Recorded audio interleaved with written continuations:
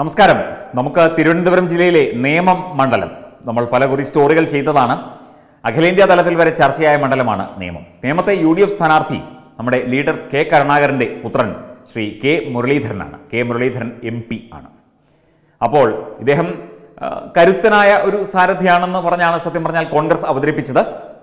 ഇവിടെ ആരെ നിർത്തും എന്ന എന്നുള്ള കാര്യത്തിൽ ഒരുപാട് തർക്ക വിതർക്കങ്ങൾക്ക് ശേഷമാണ് യു ഡി എഫ് അവിടെ കെ മുരളീധരനെ സ്ഥാനാർത്ഥിയായി പ്രഖ്യാപിച്ചത്.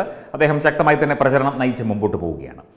ഇവിടെ ശബരിമല വിഷയമടക്കം ഹൈന്ദവ വിശ്വാസികളെ ബാധിക്കുന്ന അല്ലെങ്കിൽ ഹൈന്ദവ വിശ്വാസികളുടെ മനസ്സിനെ മുറിവേൽപ്പിച്ച ഒരുപാട് കാര്യങ്ങൾ തെരഞ്ഞെടുപ്പിൽ ചർച്ചയാകുന്നുണ്ട്. ശബരിമല വിഷയം അതിൽ ഏറ്റവും പ്രധാനപ്പെട്ടതാണ്. ശബരിമല വിഷയത്തിൽ ഇരട്ടത്താപ്പും അതുപോലെ അഭിപ്രായ പ്രകടനങ്ങളും എൻ എസ് എസിന്റെ ശക്തമായ വിമർശനങ്ങളുമൊക്കെ സർക്കാരിന് എതിരെ വരുന്നുണ്ട്. അത് ഇപ്പോൾ ചർച്ചയാകുന്നുമുണ്ട്. വാർത്താമാധ്യമങ്ങൾ അത് ചർച്ച ചെയ്യുന്നുമുണ്ട്. തത്വമൈ ന്യൂസും അത് സംബന്ധിച്ച വാർത്തകൾ നൽകുന്നുണ്ട്. പക്ഷേ ആയിരക്കണക്കിന് ഹിന്ദുക്കളെ കൂട്ടക്കൊല ചെയ്ത മലബാർ കലാപം ആയിരത്തി തൊള്ളായിരത്തി ഇരുപത്തിയൊന്നിലെ മലബാർ കലാപത്തെക്കുറിച്ചുള്ള വാർത്തകൾ ഒരിടയ്ക്ക് ചർച്ചയായിരുന്നു. ഈ ആയിരത്തി തൊള്ളായിരത്തി ഇരുപത്തിയൊന്ന് മലബാർ മലബാറിൽ നടന്ന ഹിന്ദു വംശഹത്യയെക്കുറിച്ചുള്ള അതിന്റെ നൂറാം വാർഷികം ആഘോഷിക്കുന്ന ജിഹാദി കൂട്ടങ്ങളുടെ പെടക്കലും അതുപോലെ ചില സിനിമാക്കാരുടെ വാരിയംകുന്നൻ സിനിമ അങ്ങനെയുള്ള കാര്യങ്ങളൊക്കെ ഒരുപാട് ചർച്ച ചെയ്തതാണ് കേരളം. ആ സമയത്ത് ഈ വാരിയംകുന്നൻ വാരിയംകുന്നത്ത് കുഞ്ഞഹമ്മദ് ഹാജിയുടെ നൂറാം വാർഷികം ഉദ്ഘാടനം ചെയ്തത് ആരാണെന്നറിയാമോ? ഈ കെ. മുരളീധരനാണ് അത് ഉദ്ഘാടനം ചെയ്തത്. മാത്രമല്ല അന്ന് ഉദ്ഘാടന പ്രസംഗത്തിൽ വാര്യംകുന്നൻ എന്ന പിശാചിനെ എന്ന കൊലപാതകിയെ നൂറുകണക്കിന് ആയിരക്കണക്കിന് ഹിന്ദുക്കളെ കൂട്ടക്കൊല ചെയ്ത പിഞ്ചുകുട്ടികളെപ്പോലും പിഞ്ചുകുട്ടികളെ പോലും അറുത്തുമാറ്റിയ സ്ത്രീകളെ ക്രൂരമായി ബലാത്സംഗം ചെയ്ത ആയിരക്കണക്കിന് പേരെ നിർബന്ധിച്ച് കഴുത്തിൽ വാൾ വെച്ച് മതം മാറ്റിയ അതിന് നേതൃത്വം കൊടുത്ത ഈ പിശാചിനെ ഈ ദുഷ്ടനെ വാരിയംകുന്നത്ത് കുഞ്ഞഹമ്മദ് ഹാജി ഒരുപാട് പ്രകീർത്തിച്ചുകൊണ്ട് മുരളീധരൻ സംസാരിക്കുകയും ചെയ്തു. പിന്നീടുള്ള പല വിഷയങ്ങളിലും പല അവസരങ്ങളിലും ഇതൊക്കെ തന്നെ അദ്ദേഹം ആവർത്തിക്കുകയും ചെയ്തത് നമ്മളെല്ലാവരും കണ്ടതാണ്. അപ്പോൾ കഴക്കൂട്ടം എന്ന മണ്ഡലത്തിലെ ഹിന്ദു സമൂ ക്ഷമിക്കണം നേമം എന്ന മണ്ഡലത്തിലെ ഹിന്ദു സമൂഹം എങ്ങനെ കെ മുരളീധരനെ വിലയിരുത്തുന്നു ഒരു സ്ഥാനാർത്ഥിയായി? ഹൈന്ദവ ജനതയ്ക്ക് ഹൈന്ദവ ജനതയുടെ മനസ്സിൽ ഇന്നും ഉണങ്ങാത്ത മുറിവായി അവശേഷിക്കുന്ന ആയിരത്തി തൊള്ളായിരത്തി ഇരുപത്തിയൊന്നിലെ ഈ മലബാർ ലഹള ഈ കലാപം ഈ കൂട്ടക്കൊല ഈ വംശഹത്യ അതിനെ വെള്ളപൂശാനും അതിനെ സ്വാതന്ത്ര്യ സമരത്തിന്റെ ഖിലാഫത്ത് പ്രസ്ഥാനത്തിന്റെ ഭാഗമായി കാണാനും ഒക്കെ ശ്രമിച്ച ചരിത്രം വളച്ചൊടിച്ച് വക്രീകരിച്ച് ജനങ്ങളുടെ മുന്നിൽ അവതരിപ്പിക്കുന്ന അതിന്നും മനസ്സിൽ കൊണ്ട് നടക്കുന്ന കെ മുരളീധരന് ആര് വോട്ട് ചെയ്യും? ഇവിടുത്തെ ഹൈന്ദവ സമൂഹം വോട്ട് ചെയ്യണോ? അത് ഇവിടെ ചിന്തിക്കേണ്ട വിഷയം തന്നെയാണ്.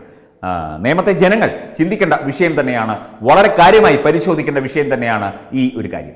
കാരണം അതിന്റെ ഔദ്യോഗികമായ ചടങ്ങിൽ ഉദ്ഘാടകനായി ചെന്നതും അവിടെ ഉദ്ഘാടന പ്രസംഗം നടത്തി വാര്യംകുന്നത്ത് കുഞ്ഞഹമ്മദ് ഹാജി എന്ന കൊലപാതകയെ ന്യായീകരിച്ചതും സ്വാതന്ത്ര്യ സമര സേനാനിയാക്കി ചിത്രീകരിച്ചതും ഒക്കെ ഈ മുരളീധരനും കൂട്ടരുമാണ്. മുരളീധരന്റെ നേതൃത്വത്തിൽ മുരളീധരനെ മുരളീധരന് പിന്തുണ കൊടുത്തുകൊണ്ടെന്ന് ഒരുപാട് ജിഹാദികളും അതുപോലെ രാജ്യദ്രോഹികളും ഹിന്ദു വിരുദ്ധരും സംസാരിക്കുകയുണ്ടായി. അതെല്ലാം കേട്ട് തലകുലുക്കി ചിരിച്ചുകൊണ്ടിരുന്നിട്ട് മുരളീധരൻ ഇപ്പോൾ എത്തിയിരിക്കുന്നു നേമത്ത് അവിടുത്തെ ജനങ്ങളുടെ വോട്ട് തേടിക്കൊണ്ട്.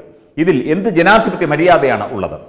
ഈ ഒരു വിഷയം ഹൈന്ദവ വിശ്വാസികളുടെയും ഹൈന്ദവ ഹൈന്ദവ മതം പിന്തുടരുന്നവരുടെയും സനാതന ധർമ്മ മൂല്യങ്ങളിൽ ഉറച്ച് നിൽക്കുന്നവരുടെയും ഒക്കെ അവരെയൊക്കെ നാണം കെടുത്തിക്കൊണ്ട് അവരെയൊക്കെ വെല്ലുവിളിച്ചുകൊണ്ട് അവരെയൊക്കെ പരിഹസിച്ചുകൊണ്ടല്ലേ മുരളീധരൻ ഈ ചിരിയുമായി ജനങ്ങളുടെ മുന്നിൽ തൊഴുകൈകളോടെ കള്ള കൂപ്പുകൈയുമായി എത്തുന്നത് എന്ന ചോദ്യം അവിടെ അവശേഷിക്കുന്നുണ്ട്. തീർച്ചയായും നേമത്തെ ജനങ്ങൾ ഇതിന് കൃത്യമായി മറുപടി നൽകും. മറുപടി നൽകിയേ പറ്റൂ.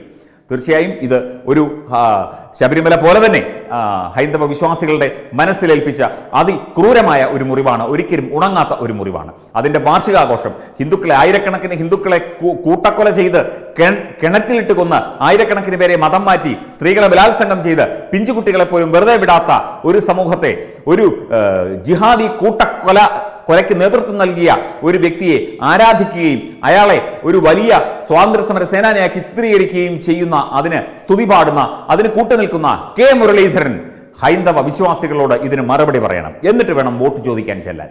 അല്ലെങ്കിൽ അത് ഒരിക്കലും ഒരു ജനാധിപത്യ സാമാന്യ പൊതു മര്യാദയായി കണക്കാക്കാൻ സാധിക്കില്ല. ഇവിടെ വിശ്വാസങ്ങൾക്ക് പ്രാധാന്യമുണ്ട്. ഇവിടെ ആരാധനകൾക്ക് പ്രാധാന്യമുണ്ട്. ഇവിടെ ചിന്തകൾക്ക് പ്രാധാന്യമുണ്ട്. മതേതരം എന്നൊക്കെ പറയുമെങ്കിലും അത് ഒരു വിഭാഗത്തിന്റെ മാത്രമാകുമ്പോൾ മതേതരവും ഹൈന്ദവ വിഭാഗത്തിന്റെതാകുമ്പോൾ വർഗീയവും പറയുന്ന സംസ്കാരമാണ് ഇവിടെ കേരളത്തിൽ ഉള്ളത്. അപ്പോൾ കെ മുരളീധരൻ ഇവിടുത്തെ ആയിരക്കണക്കായ ഹൈന്ദവ വിശ്വാസികളുടെ മനസ്സിൽ അവരുടെ മനസ്സിൽ ഇന്നും കണ്ണീരായി അവശേഷിക്കുന്ന ആ അവസ്ഥയെ നല്ല ഒരു കാര്യമായി അല്ലെങ്കിൽ ചരിത്രത്തിന്റെ ഒരു ഭാഗമായി ചിത്രീകരിച്ചെങ്കിൽ കെ മുരളീധരന് ഇവിടുത്തെ ഹൈന്ദവ വിശ്വാസികളുടെ ജനങ്ങളുടെ മുന്നിൽ നിന്നുകൊണ്ട് വോട്ട് ചോദിക്കാൻ എന്ത് ധാർമ്മികമായ അവകാശമാണ് ഉള്ളത് എന്ന് ചോദിച്ചുകൊണ്ട് നിർത്തുന്നു. Web desk Tatwamayi news.